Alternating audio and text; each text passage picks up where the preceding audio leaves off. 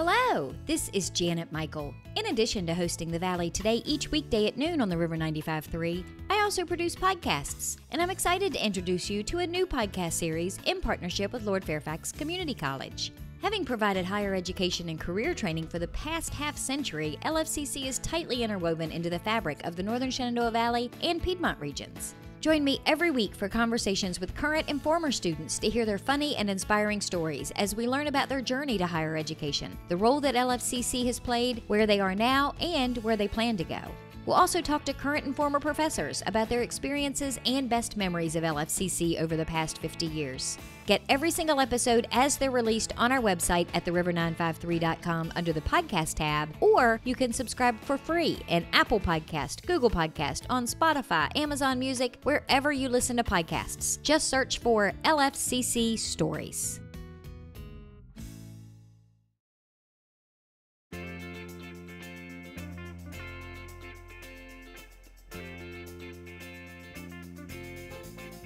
Hello and welcome to the Valley today. I am your host, Janet Michael. Happy Wednesday as you are listening to the show today. It is the Valley Business today, and it is an extra Wednesday. That means I get to spend some time on the Zoom screen pre recording with Sally Michaels from the Frederick County Economic Development Authority. How are you doing, Sally? I'm super. I love doing the extra Wednesday because we get to be, you know, extra magic, extra love.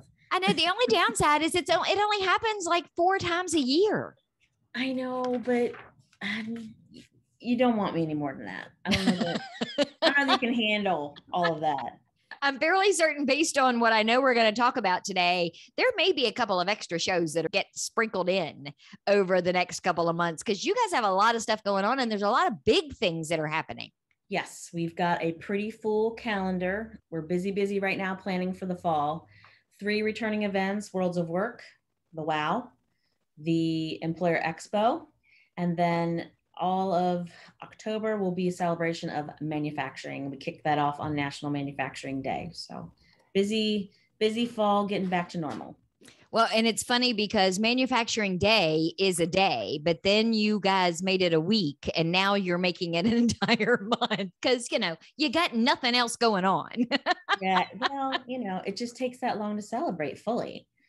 No, though, there, there was a good reason, some good suggestions in spreading that out, which I can maybe get into a little bit of that when we talk about the manufacturing week slash month, whatever we're going to call it now. Open to suggestions Tell me about WOW because there's a big change coming to it. The grade is changing. Yeah. So it, typically, last five years, it was seventh graders. We did that for a reason. The General Assembly said seventh graders have to have a career path picked out, start working on classes in middle school and high school. And so this checked that box. They could get out and do some hands on exploration. However, if anybody you know was unaware last year we had the crazy covid and so we didn't get to do our events and our seventh graders lost out. But they actually will not lose out because we're changing it to eighth grade. So anybody that was in seventh grade last year that would have missed the worlds of work will now make it september 10th they will be going on their big big field trip to the worlds of work. It's going to be held back at the shenandoah university wilkins event center it was there for the first time, not last year. We're just going to pretend last year was a vortex and say last year, even though we really mean 2019. How did it work? Awesome. We had a lot of kids at one time, but we had a lot of room. Shenandoah was a great partner as far as getting the floor prepped. It's a basketball court inside. So they have to put up carpet and make it look pretty and protect it um, so that we can bring in big things and equipment like ovens and animals and vehicles. So they were great in that regard. And they let us, you know, set up and, you know, obviously spend the whole day there for the event and then do the cleanup. So great partners at Shenandoah University. We're coming back there.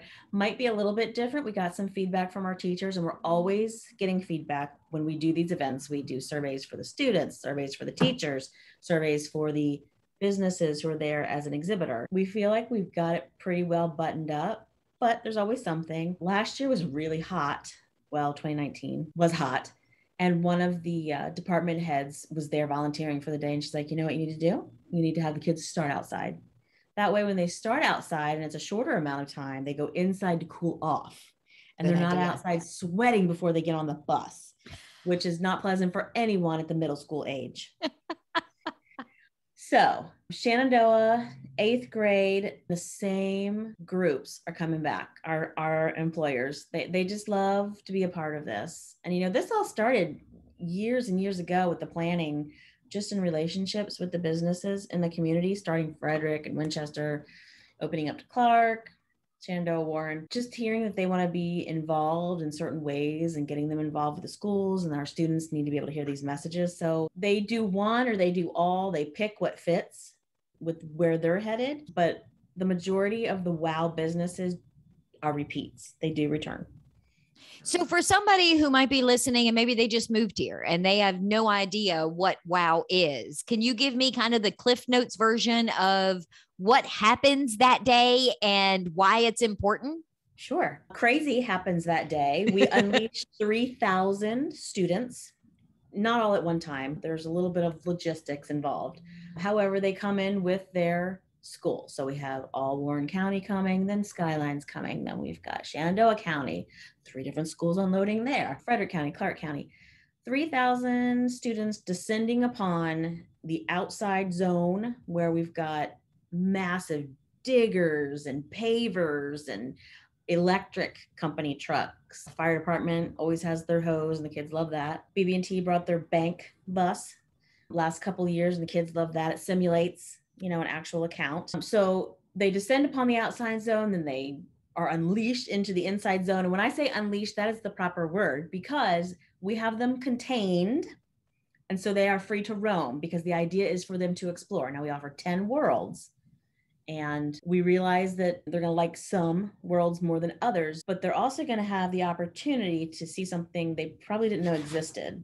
And so we want them to play, to get dirty, to dig in and figure out what these activities are. The businesses come up with an age appropriate activity that would simulate a job or different types of jobs that they have. Something as simple as the electric company putting on one of those giant bulky gloves that goes to your elbow and trying to pick things up. It sounds so simple. but the kids think it's great fun and then you go on to explain that you know you're tying you're tying wire with this you got you how can you do that? So the kids come in, they get to see stuff they probably have never seen. They probably don't know what mom and dad do. And so hopefully there's some exposure to things that they didn't think of before. Like I mentioned before, it checks a box for the Department of Education that, you know, the middle schoolers are getting this exposure. Now they're picking classes. Do i do i really want to go in this direction? Do i take more sciences? Do i take more math? Do i need a language? And then you know for the volunteers and they could come from all over. I will tell you now i never have enough volunteers.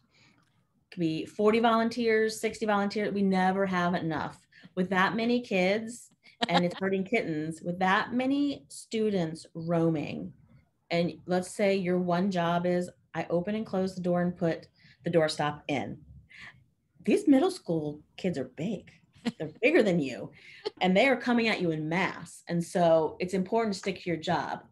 Anybody can register to be a volunteer that day. That's different than being an exhibitor. If you're going with your business, fantastic. Stacy Barrett, our exhibitor chair, says we want studs, not duds. Yes. You have to be able to speak to children. Yes. And th- there's that energy and the light in their eyes. I mean, they're really inquisitive. And so someone that's able to engage. When we did it a few years ago, Dylan Nichols was our news director at the time. And Dylan came up with this idea. He had, uh, what was the name? Quincy the Quiet Box. Do you remember? I and he created remember. this little quiet box, and the kids came through and got to do their own newscast because kids would walk up to the radio station booth and I would say, So, what kind of jobs do you think are available at a radio station? And all of them, almost without fail, would say, Well, you have to be a DJ on the radio. They had no idea that there was news and there was podcasts and there was sales and there were sports and there were all of these other things.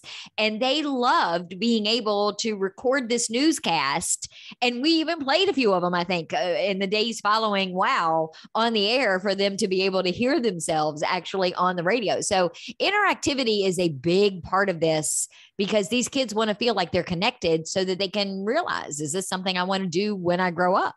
And, and it's just a little spark that you're lighting. They did love Quincy the Quiet Box because I got the feedback from those students. And when Dylan gave them an actual news event to cover, I mean, you could do the weather, there's all kinds of things. Mm-hmm. They feel like they're actually doing it in one take. And whoops, what if I do something live? You know, there's no there's no editing. That was a great that's a great example. Bring yeah, I miss yeah. I miss Dilly. Just so you know, update for the listeners and and for you. He is heading off to Oregon to begin law school.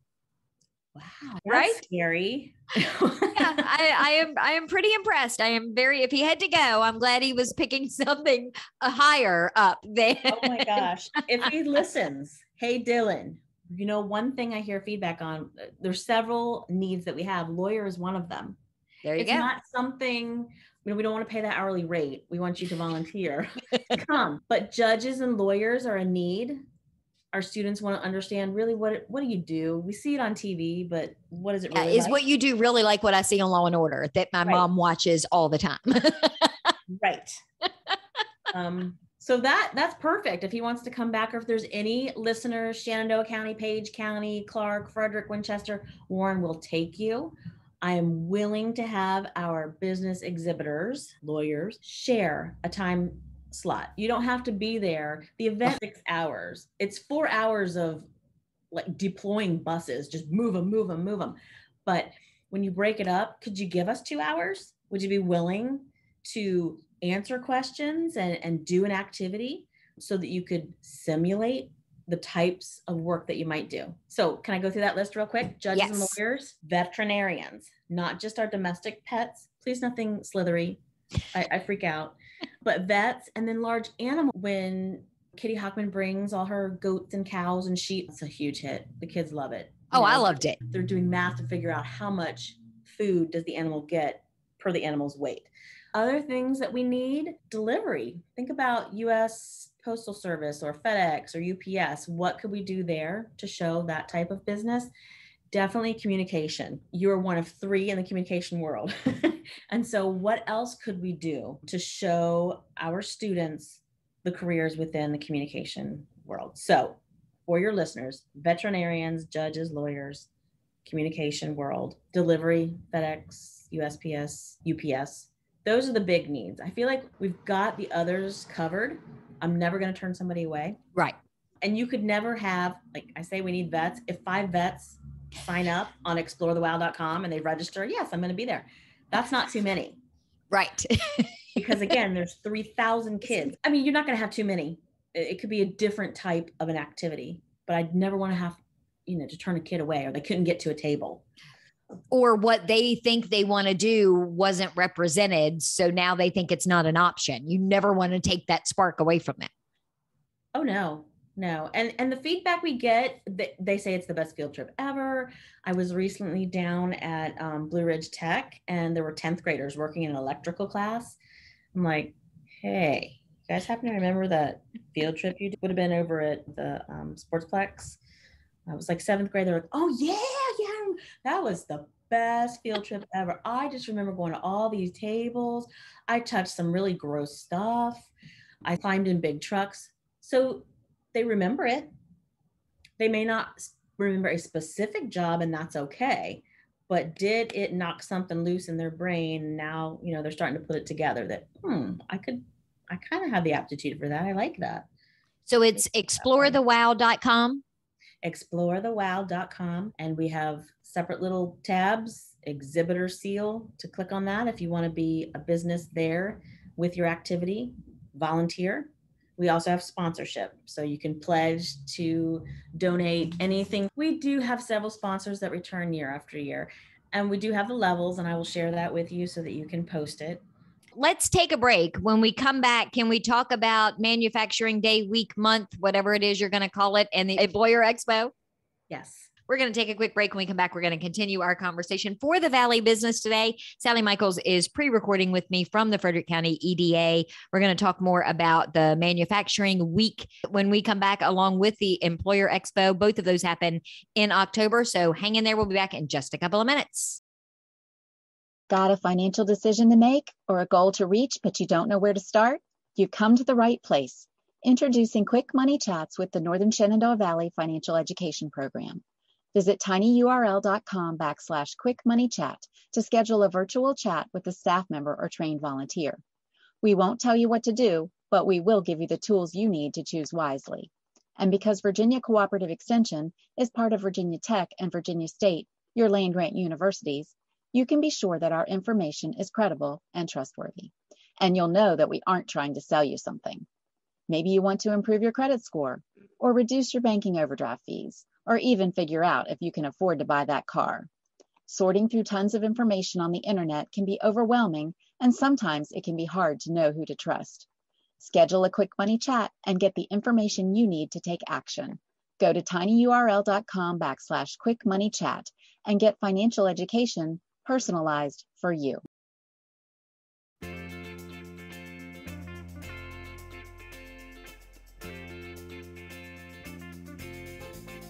Welcome back to the Valley today. I am your host, Janet Michael. Happy Wednesday. As you are listening to the show today, it is the Valley Business Today.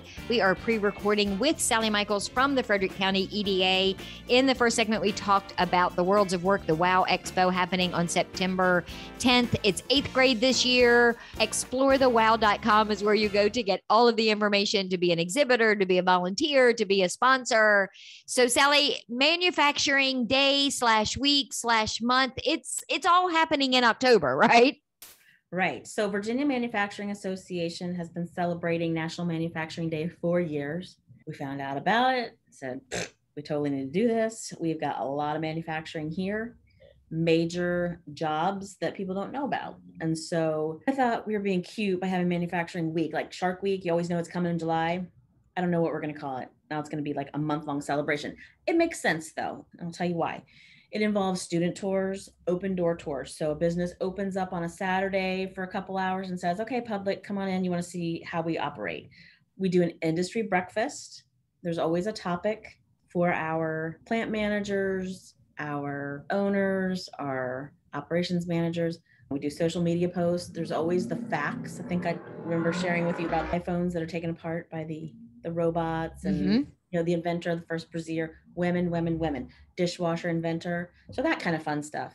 And videos. We wanted to start a gallery. So years ago we started building on a video gallery and it highlights the businesses here the companies that are here. A lot of people don't know who we have here. And what's their operation? Who's their customer? What's their product? And these are the kinds of jobs so it made sense. I got a little feedback this last time around from Cynthia Schneider. So she's the chamber up here, Winchester Frederick Clarke, mm-hmm. used to be food source. And she's like, I wonder, is it a timing thing? Think about all of your production managers are there in the wee hours of the morning. Everything is set up the night before. But what if something goes wrong and then they can't break away? I'm like, oh my gosh, you're right. And then if we're trying to do like a happy hour and, you know, a lunch and everything else, it's too much in a week. They can't possibly break away. I mean, I try to catch them before they get stuck going in because that's the best time. Once you're in, you never escape. It's the Hotel California. I was like, oh my gosh, that's a that's brilliant feedback. We we need to take that and, and we'll just spread it out for the whole month so that we can get more participation. In addition, we want to celebrate all the manufacturing workers. I mean, think about all the commercials you've seen over the last crazy COVID year. You know, thank you.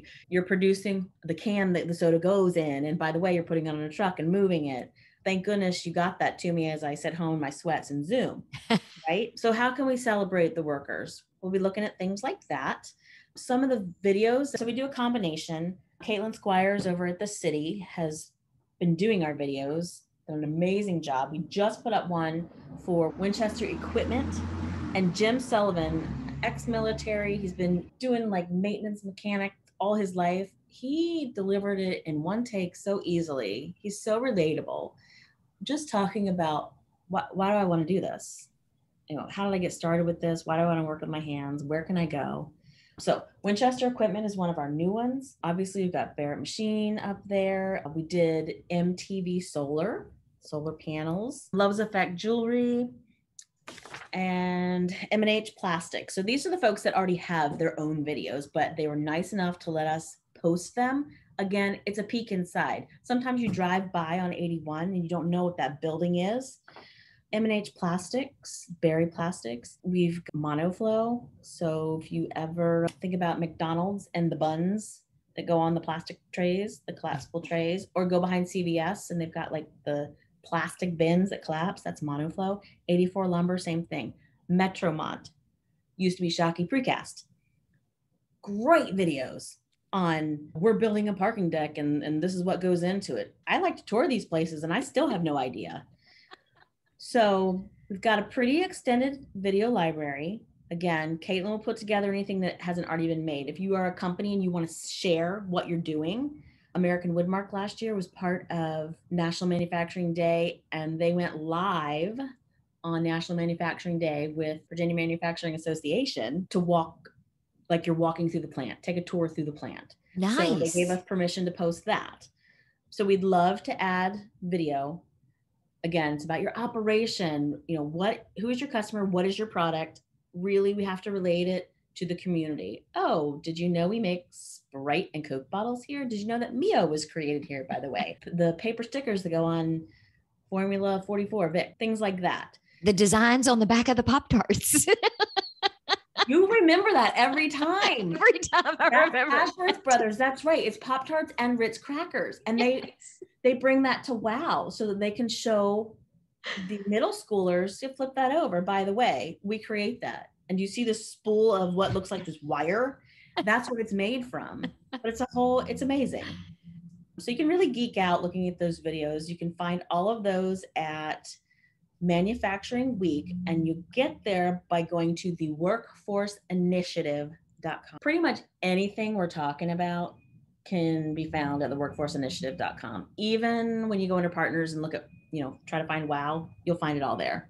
You've got Clarke, Frederick, Winchester, Shenandoah, Warren, all of us working towards a skilled workforce.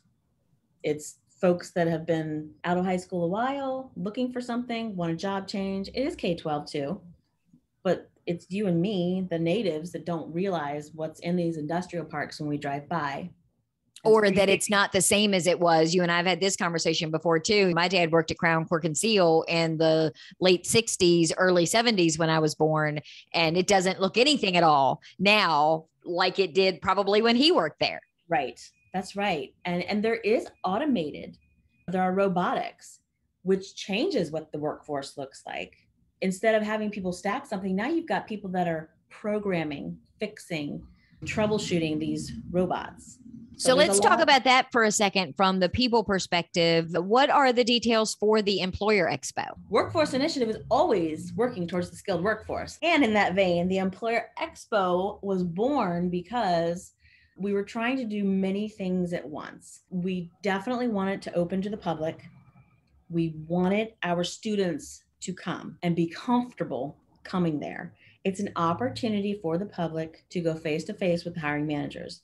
I hear all the time, I can't get in front of anybody at Trex. I can't get in front of anybody at Rembrandt, Home Depot, whatever. Those You can't get in there unless you know somebody. Right. Which is not true. They actually are probably pumping gas next to you or eating at the cracker barrel. But this is the right time to do it. We've got it set up. It's for our businesses and we pull in a crowd. So you get that FaceTime. We're going to run it one to six on October 21st. It's a Thursday. We're going to have snacks. We're going to have workshops. We've done three workshops over the last three years. Professional etiquette. Like I wouldn't. That's be a big one. Right now cracking gum. And even those of us that think we have that handled have been at home for a year in our pajamas. A refresher course will never hurt. That is true. so, you know, some of the folks that have attended in the past might say, I've done that class, and that's fine because we're going to add other classes. So, the three that are returning professional etiquette, resume writing, and mock interviews. Mock interviews are done by Navy Federal Credit Union. That team comes in, and I found out, I mean, they, the line is always out the door.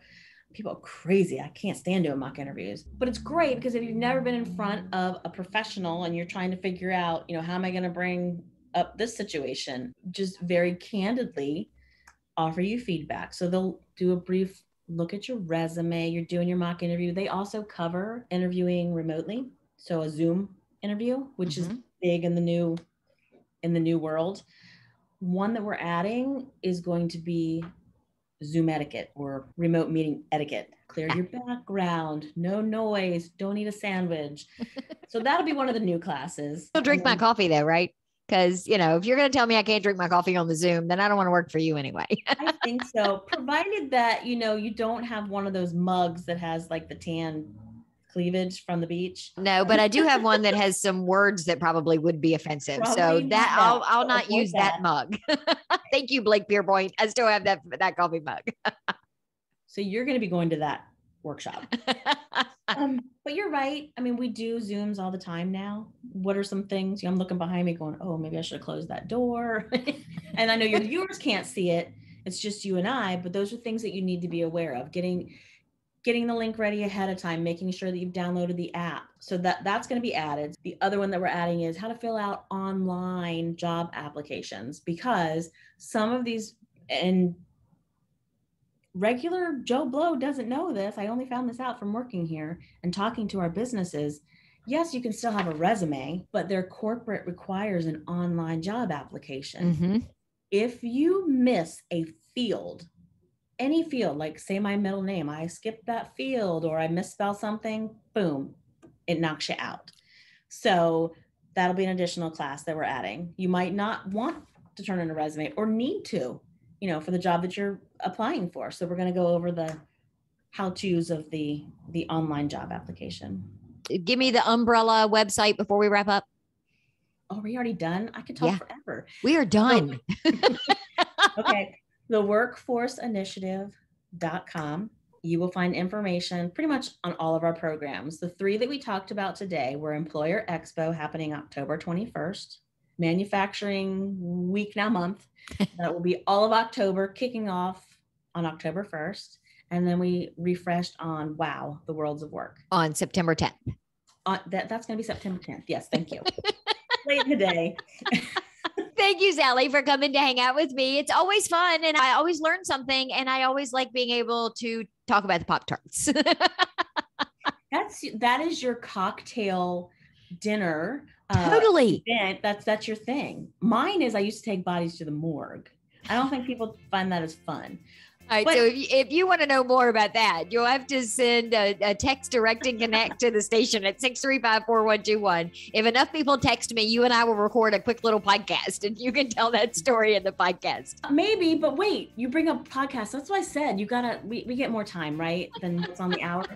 So we're thinking podcast for manufacturing week, a series. Oh, girl, now you're talking my language. I know, I know, but it's more, it's like accessible. It's also the younger generation, they can get to this. So more to come on that, but we feel like we definitely could market that better. Awesome. So the workforceinitiative.com, start there and it'll take you everywhere you need to go. Yeah, you should look over that site. Wendy did an amazing job. It's beautiful. I will be back tomorrow. We are chatting with the Adult Care Center, and they've got a really cool auction fundraiser going on. So meet me back here tomorrow, a few minutes afternoon. We'll have details for all of that then.